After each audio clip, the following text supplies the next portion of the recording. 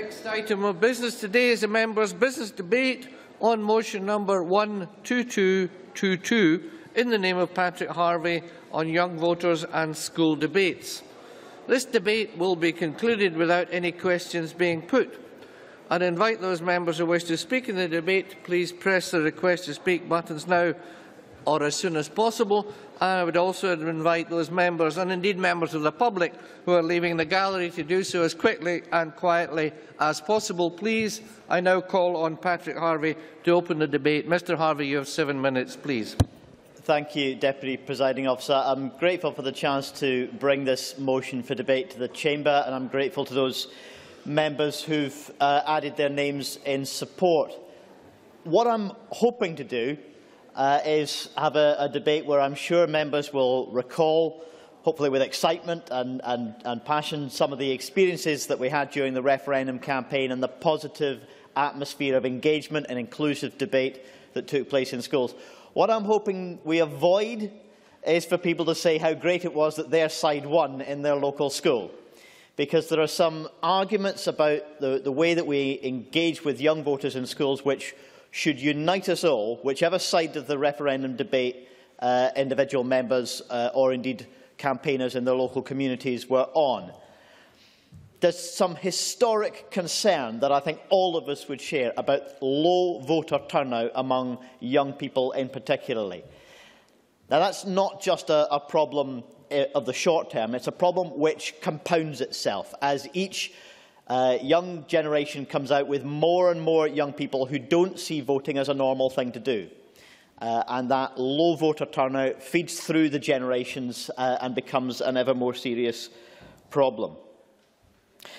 I think it's important to recognise that not turning out to vote is not the same as apathy.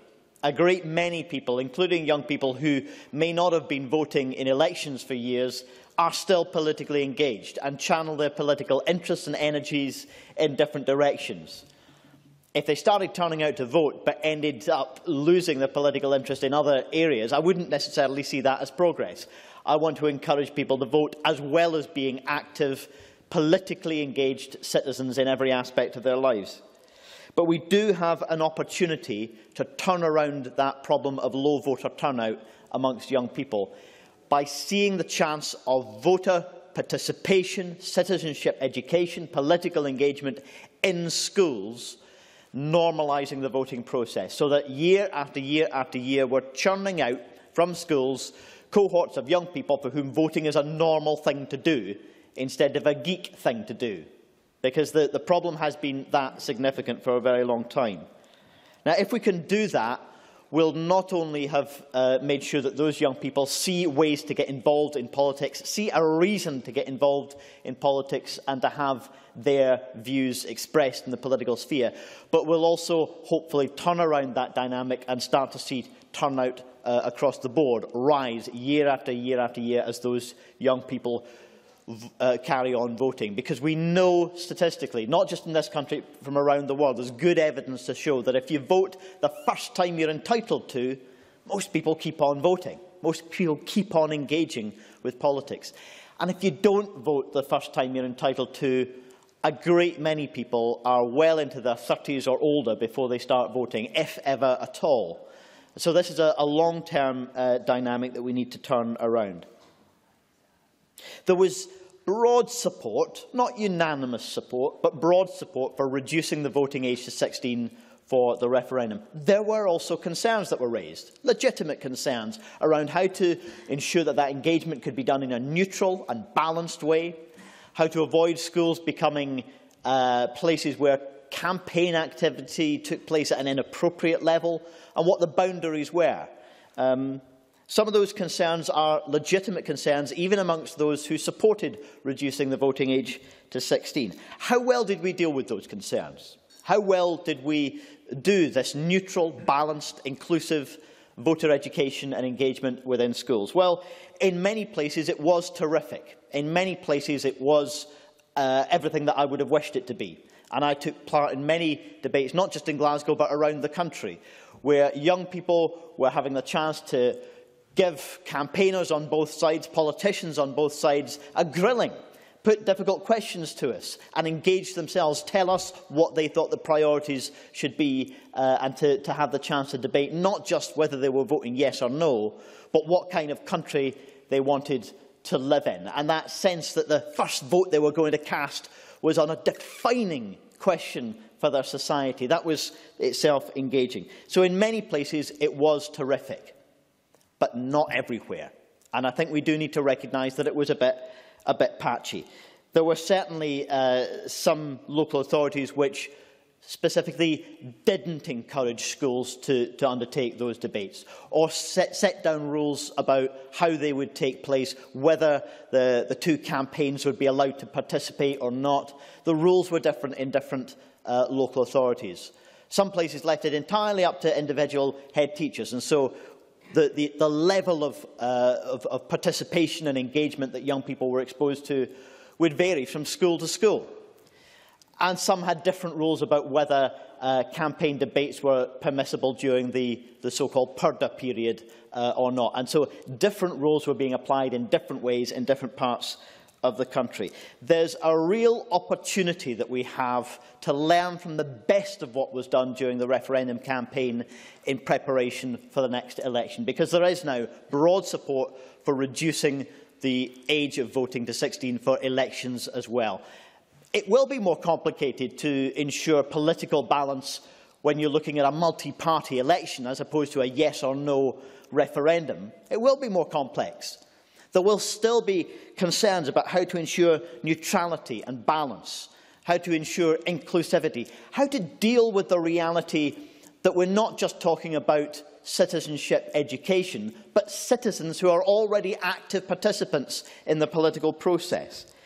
Concerns about how to deal with the fact that schools don't just have a cohort of pupils in front of them, they have a cohort of young voters, some of whom will be campaigners, some of whom will be activists, some of whom will be party members from one part of the political spectrum or another. That's something we should relish. That's something we should see as a positive opportunity, not just uh, as a problem. There will be concerns about these things, those concerns should be addressed in a positive way, rather than being used uh, as an excuse to close down debate or to close down the opportunities uh, that are in front of us. Deputy Presiding Officer, we, we do now have broad support for the principle that votes at 16 will be the norm for Scottish Parliament elections in the near future. My hope is that that happens for all elections throughout our society. Let's take the opportunity to use that to drive up voter turnout, to drive up political participation amongst young people, which will stay with them as they grow older, if we, if we learn from the best of what was achieved over, over the course of last year, then we'll, we'll manage that. If we end up seeing the situation remaining patchy, then we will have lost that, that really terrific opportunity. These things don't come around very often, the chance to really change the dynamic of our political process and make sure that young people see it as something that they have a right to engage in and a positive reason to engage in. So I do hope that members will agree that we can learn from the best of what was achieved last year during the referendum campaign. Thank you, Deputy Presiding Officer. Thank you. And now Colin Stewart Stevenson to be followed by Mark Griffin. Uh, thank you very much, uh, Presiding Officer. My hearty congratulations to Patrick Harvie for uh, giving us the opportunity to discuss this important subject. He, he, he said he wants a bit of excitement and passion, so let me just start with some. Um, I was a rather sickly young kid, so I read a lot of books because I was at home a lot of the time. And one of the early books I read, the first political book I read, was a biography of Lloyd George when I was about seven. And I found it fascinating because it had excitement and passion. Um, the passion was that his mistress was Frances Stevenson age seven. I didn't quite understand what that meant, but it was certainly something to do with passion, and it was, uh, it was interesting. In those days, of course, the press were less interested in the private lives of politicians, and he conducted an affair with Frances Stevenson that extended over 45 years. Uh, and eventually married her uh, just before he died, after his wife had died. First election uh, I participated in was the 1961 East Fife by-election, when Sir John Gilmour won the seat for the Tories. I was out campaigning for the Liberals, and as a result, a few months later, joined the SNP in the Duncan Institute uh, in Cupar, where 25 of us 15, 16, 17-year-olds uh, joined our first political party. So getting the youngsters engaged is not new. There's a bit of a cycle to it. Hopefully, however, we're in an upward cycle uh, that continues. Now, of course, getting involved in public life um, can happen at a very early age. Mary Queen of Scots was eight days old when she became Queen, when James IV, her father, uh, died uh, after she was born in the Linlithgow Palace. But uh, I think her engagement with politics was probably uh, pretty minimal. Now, the motion that's before us, a lot of interesting things, consensus for 16 and 17-year-olds, uh, the online uh, survey that's been done of young people shows that 8.5% are opposed to it. Only 8.5%. So I think we can now say, without risk of much contradiction, that uh, giving our youngsters the vote is a pretty much general thing, a settled uh, will. Now, looking again at uh, the survey, uh, how to register, because it's the very first time we're registering people of this age, and there were some special issues around data protection and so on and so forth. 50% of people, according to that survey, got information at the schools. And I think the schools were a very important part of the campaign uh, in, in, in ensuring uh, that people uh, were informed. Now, there was variability in the engagement of schools. Uh, I think uh, to some extent the campaigns nationally um, had shortcomings on both sides of the argument. And by the way, in my constituency, I was and during the campaign remained and still am friends with those who espoused and campaigned for a different viewpoint. Politics at least can be conducted gentlemanly in Banff and Banffshire and Bucking Coast. I think both sides didn't realise the extent to which we would empower and activate grassroots And in many places, we found that schools were trying to work with national bodies when the real energy of the campaign was in quite a plethora of small uh, locally-based bodies. And schools found that difficult to engage with. The pattern of politics has changed and the old methods were being applied. Schools played it safe. If they couldn't get someone from both sides of the argument, they, they were cancelling uh, debates. And I think that was uh, fairly uh, disappointing. Now, Tam Baillie, the Commissioner for Children and Young People, uh, particularly points to what the Scottish Youth Parliament did through its I uh, Naw Mibbe campaign. And I think it's important that young people themselves reach out uh, to other young people. And if we look at the survey, we find overwhelmingly that was the source of information for young people who voted. In other words, their own peer group. And I think that should be no surprise to us. Um, I, returning to Lloyd George, uh, my great hero as I approached my 70th birthday in 1908, Lloyd George, of course, introduced uh, the first national pension entitled as a matter of age, five shillings a week for 17-year-olds. Well done, Lloyd George. Well done, the Liberals, for encouraging me to get involved in politics. Their loss that I chose to join the SNP because of their manifest and obvious shortcomings. Thank you. Um, now call on Mark Griffin to be followed by Mary Scanlon. Thank you, President Officer. Uh, I'd also like to congratulate Patrick Carvey for securing the debate this afternoon um, on this important subject. I think the, it's fair to say that the referendum galvanised Scotland at home, at work, uh, community centres, pubs and of course in our schools, people in villages, towns and cities, whether they were yes, whether they were no, um, definitely had a view and that came over loud and clear and with a turnout of almost 85%. It was nothing that I've ever experienced and um, I don't think um, Scotland had experienced that level of turnout before. And I don't think anywhere, um, nowhere else was the referendum more of a, a hot topic than in our schools with votes for 16 and 17-olds for the first time. Lots of school organised debates, some more freely than others with some of the rules that were um, spoke about by, by Patrick Harvie. I took part in a number of those school debates in Cumbernauld and Kilsyth um, and elsewhere in central Scotland. And I think anybody who participated in those debates would, would say that the, the general interest, the level of engagement from the, the young people who, they, who were there was incredible. And like Patrick Harvie, I wouldn't be want to cheer one side's win over the other. What actually I think I would celebrate more than anything was the fact that the young people who were there were open to the arguments that were being put forward. Um, they were amenable to different points. In fact, I think quite a few of the, the votes that were taking place had shown that quite a few people had changed their minds over the course of the debate and were open to that information, probably a lot more open than anybody else in the chamber was to any arguments or information that we were getting. I've been a, a supporter of votes at 16 for a long time, and I'm, I'm delighted that progress has finally been made. Um, I don't think it's right that 16 and 17 year olds um, can leave school, get a job, pay tax, uh, drive a car, but they don't have any say in electing any of us or their local representatives at a, a council level. Now, as someone who was brought up in a, a political family, I was involved in election campaigns from a, a very young age, and I've been involved to some extent in every election in Scotland since 1992. And growing up, I was desperate to vote after handing out all those leaflets, um, being on battle buses, giving out balloons and, and everything else. And the only uh, wish that I had was that I would have gotten that chance earlier.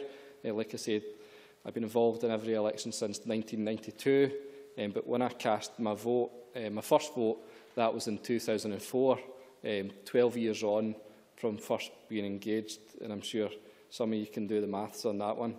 Um, I'm pleased that um, we've committed the Labour Party to extending the franchise to 16 and 17-year-olds um, a UK um, level to extend the, the franchise in the UK by one and a half million people. And I'm pleased as well that there seems to be um, a broad consensus here that we should do the scheme for uh, Scottish Parliament elections and, and council elections, I hope. Now, if we do put the referendum to one side, we do still have an issue with voter disengagement across the country, though.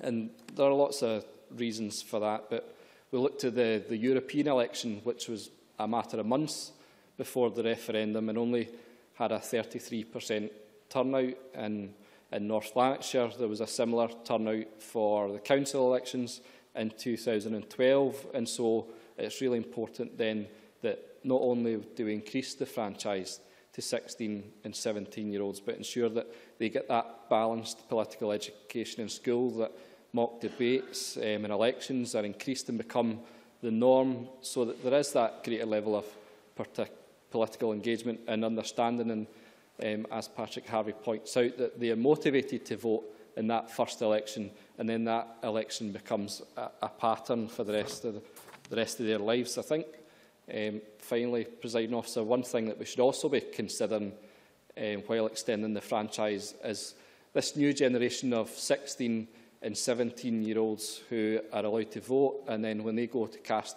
their first vote in uh, perhaps a cold and drafty community hall um, after years of um, taking part in online elections through Facebook, um, voting for an X Factor winner over the phone, that suddenly they're um, voting for a new government a close, by post or in a, in a drafty community hall. And I think that's something that, that we should be looking at as well to increase turnout. And with that uh, point made, uh, I'll thank you, Presiding Officer, for your patience and thank Patrick Harvey for bringing the debate to the Chamber. Many thanks. now call on Mary Scallon to be followed by Sandra White. Thank you, Presiding Officer. Uh, I'd also like to thank Patrick Harvey for securing this debate on young voters uh, and also welcoming the excellent work of the Devolution Committee. Uh, I think we all share the concerns regarding voter turnout, and I thought Patrick's analysis uh, uh, was excellent. Uh, having known Stuart Stevenson for a long time, can I just put on the record that I would like to thank our own Stuart for another one of his truly unique excellent and memorable contributions to, uh, to this debate. Uh, I did my fair share of hustings across the Highlands and I have to say that uh, uh, we almost started uh, sharing cars, myself and John Finney. I think I did more hustings with John than any other parliamentarian. Uh, but we didn't just meet 16 and 17-year-olds in schools. They also attended meetings in village halls, they joined in the street stalls, they were at the Highland Games, the agricultural shows and the many other gatherings uh, to debate and to join in the referendum. We had a great team of young people in Moray, some of whom were still a few months too young to vote in the referendum. And they were certainly much more informed in the political debate than I ever was at their age. Uh, the Scottish Conservatives fully support the call for the franchise to be extended to include 16 and 17-year-olds in all elections, and we were pleased that the Prime Minister's signature on the Edinburgh Agreement allowed 16 and 17-year-olds to vote in the referendum last year. I noticed a, a, a Guardian article, the 7th of January, uh, stating that the Prime Minister said he would be open to leaving it to MPs. In the comments whether the vote should be extended to 16 and 17 year olds. I think the debate is interesting down south as well. And in the same article, uh, a number of Tory backbenchers, including former Minister Damian Green, Green, have expressed support for reducing the voting age. And I think that's very healthy, and I think we would all understand that's their decision, not our uh, decision. Uh, of course, the Smith Commission is now taking the next step in terms of lowering the voting age for 16-17-year-olds in Scottish Parliament elections. It will be in place uh, for the 2016 uh, election uh, as we implement the first stage of the Smith Commission's historic cross-party agreement on devolution of further powers to Scotland, giving us all the powers in relation to Scottish Parliament and local government elections here. So whether you are for or against giving votes to 16 or 17-year-olds, no one could fail to be impressed at the participation and the understanding of the issues relating to the, the referendum. They made their own case. The questions from school pupils on the currency, EU membership, international crime, defence, terrorism, even MI5 could not fail to impress. 16, 17-year-olds were not passive bystanders in this debate. They were at the heart of the debate. I attended hustings in schools from Tobermory to Gordonstoun with uh, Richard Lochhead. And at both Elgin High School and Gordonstoun, the attendance was around 300.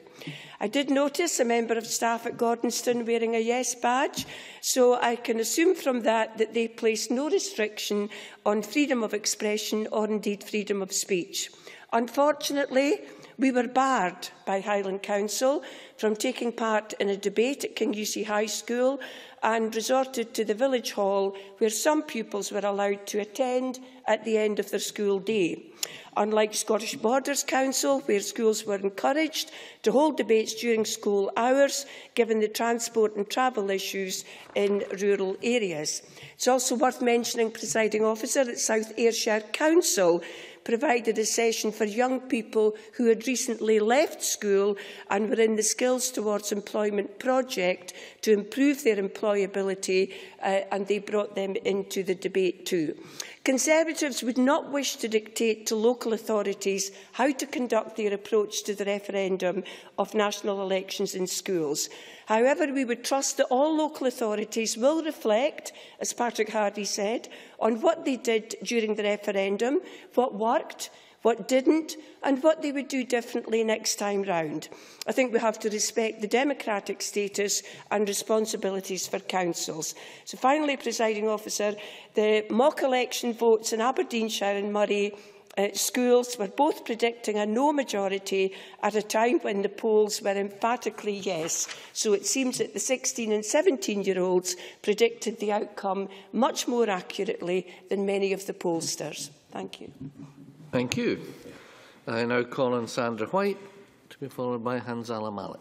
Uh, thank, thank you very much, President Officer. Can I congratulate Patrick Harvie for securing this debate, uh, obviously regarding the young voters, which I think we all are saying is very, very important, not only to the young people involved, but to, to democracy as a whole. Indeed, Hyndland Secondary School, who were uh, in the gallery just shortly visiting the Parliament, and I think we're hoping to meet with them, them later, is a very good example of schools engaging with politics, uh, local members members, and Patrick Harvey will probably remember this, uh, can vouch for it uh, when myself and him and others uh, took part in mock elections.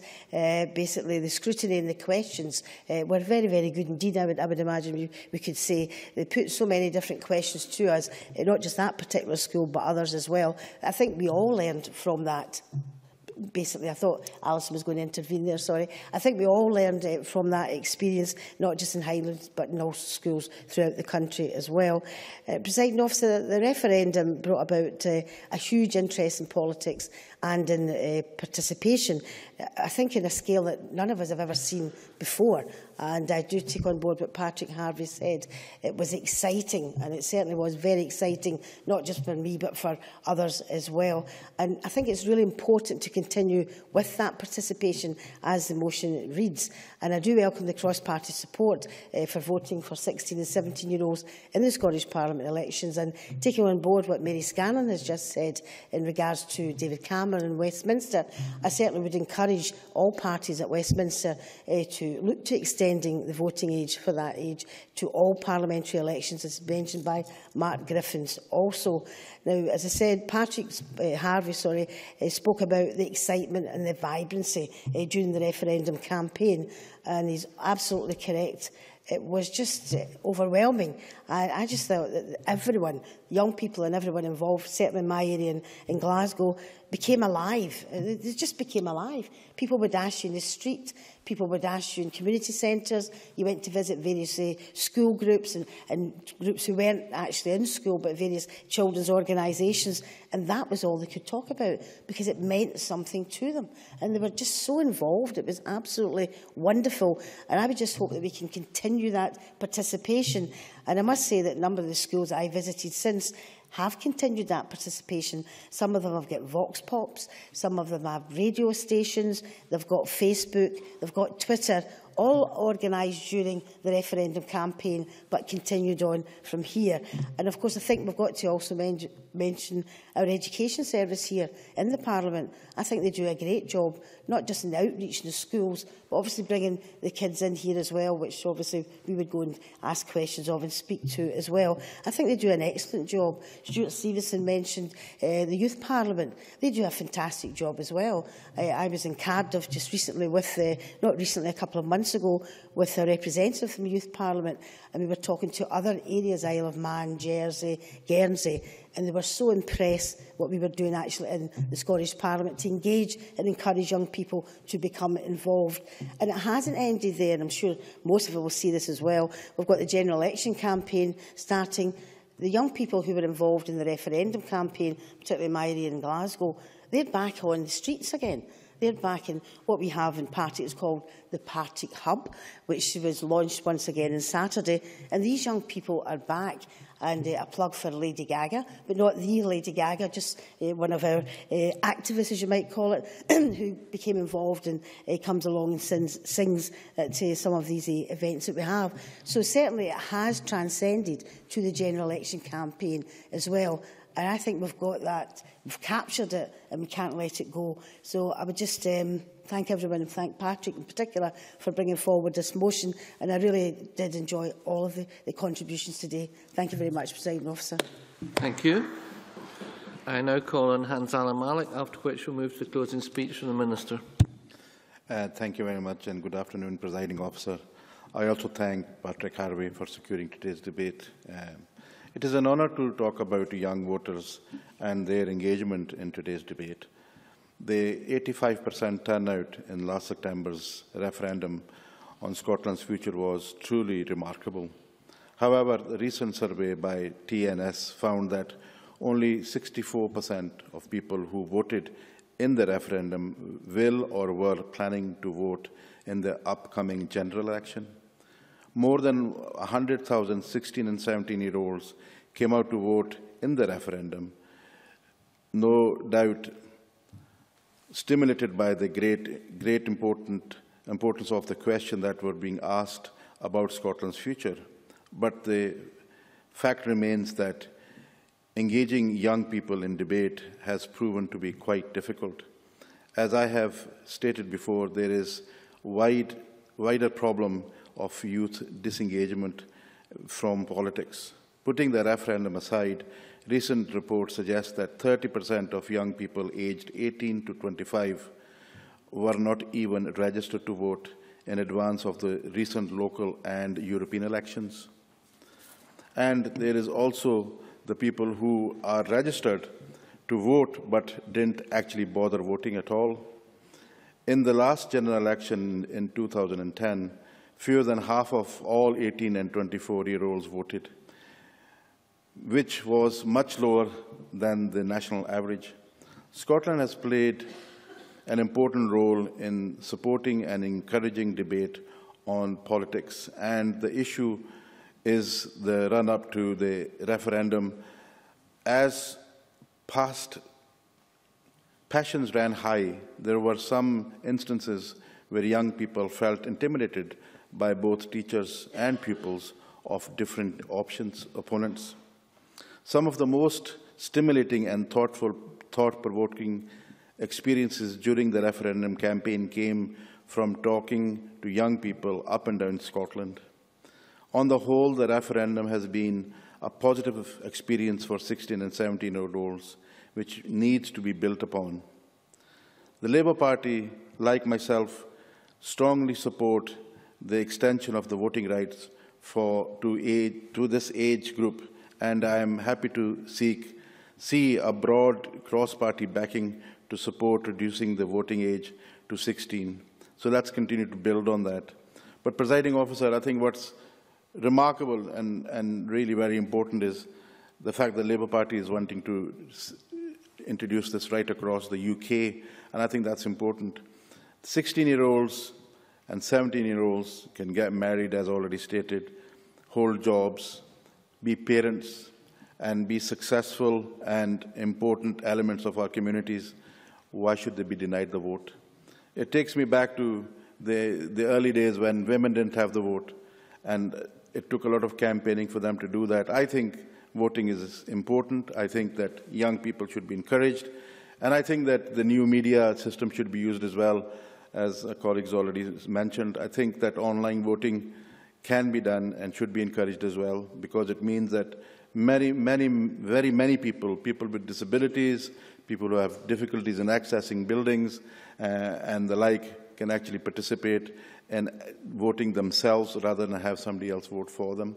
I know that the postal system is there, postal votes are there. However, I think people want to actually see their vote register online themselves. And I think if we can introduce that in the future as well, that would be very helpful. But uh, overall, I'm a great supporter of the, the age to be reduced and allowing our young citizens to participate as they do in everyday life. Thank you very much. Thanks. And we now move to closing speech from the Minister, uh, Minister Joe Fitzpatrick.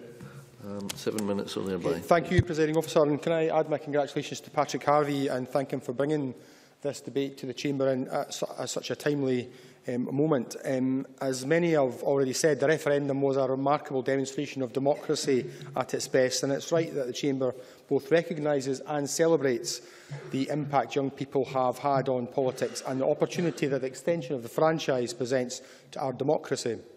It's also right that we seek to maintain the momentum gained through the referendum and civic engagement, not only in young people, but right across the population, in town hall meetings, public events and school debates.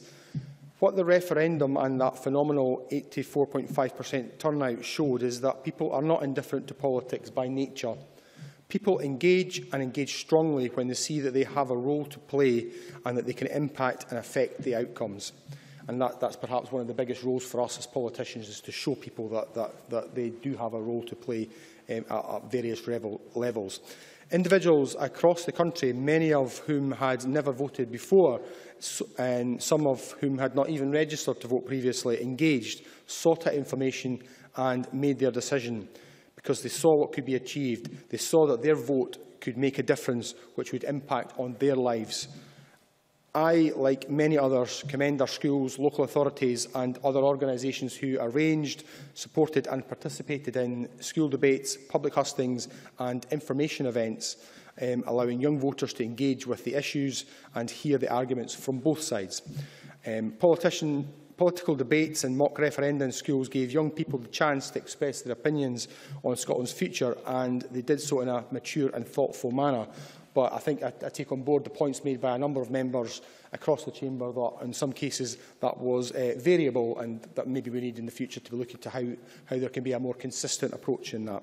Um, so I think I'll, I'll, I'll steal Patrick Harvie's words here and say that you know, we really need to learn from the best um, as, as, we, as we take this forward. Um, but the Curriculum for Excellence gives all learners the opportunity to gain the skills, knowledge and understanding needed to be politically literate. It helps learners to continue to develop as responsible citizens and to participate in decision-making, to take an active role in society and to be directly involved in changing their communities for the better. So it's not just about voting, it can be other, other participation as, as, as well. Education Scotland's online resource for learners and educators covers not just the importance of political literacy and understanding politics, but also the role of social media and information about how young people can get involved in the democratic processes in their schools and communities. All parties, including the Association of Directors of Education in Scotland and the Electoral Commission, have a shared aim to ensure that all young people are prepared to cast a well-informed vote after engaging in a balanced and well-informed consideration of the issues. Indeed.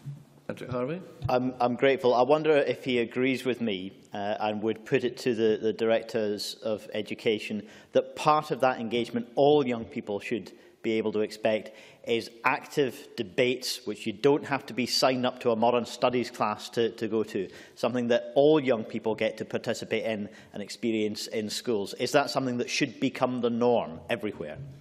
As I say, I'm, I'm not going to stand here and, and tell uh, schools how to do their education, but I certainly think we, we should learn from the best. And in schools where there were those, those kind of debates, I think the young people uh, appreciated it and appreciated the, the, the fact that that gave them the ability to make um, the most informed decision possible. And I think somebody else had, had, had I think it was um, Mr Griffin mentioned earlier that that age group were probably the, the group um, who changed their vote most often as they were, as they were hearing the arguments and, and, and deciding for themselves. Um, so the, the, the day of, of, of young people voting the way their parents voted um, for, for no other purpose, I think they're gone and, and young people have shown that they are going to make up their own minds and their own decisions based on the facts as they see them.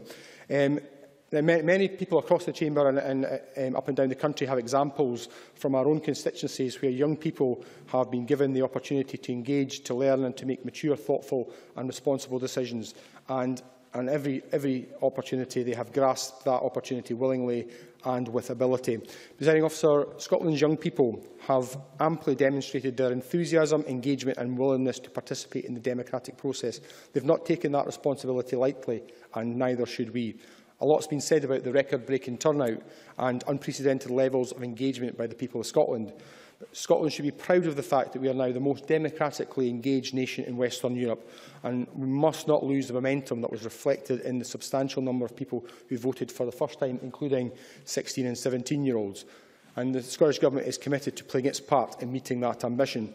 Our programme for government, published in November, set out uh, our commitment to learn lessons from the referendum, as Patrick Harvie had said, and to continue the process of making, vo making voting more meaningful for our people and our communities. In particular, I want to ensure that young people have the opportunity to meaningfully engage with and shape democratic debate as they did ahead of the referendum. Um, it's long been the Scottish Government's policy to extend the vote to 16 and 17-year-olds where we can do so. Um, we did so for the referendum because it was the right thing to do to encourage participation of young people in Scotland's democratic processes and to give them a voice on matters that affect them. We've had success on that front and I'm delighted that there is now cross-party support in the Scottish Parliament for extending the franchise to include 16 17-year-olds for the Scottish Parliament and local government elections. And I'm delighted that we now have a deal with the UK Government to transfer the required powers to make this possible.